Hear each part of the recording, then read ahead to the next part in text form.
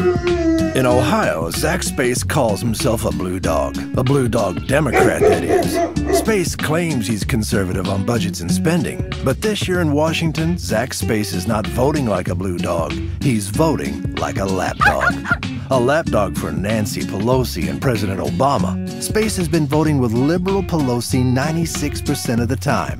When Pelosi wanted 787 billion in new spending, that's billion with a B, Zack Space went along.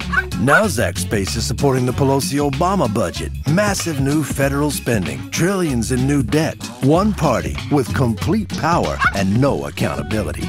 Call Zach Space at 202 225 3121. Tell him to stop being a lapdog for liberals and start being a watchdog for our money.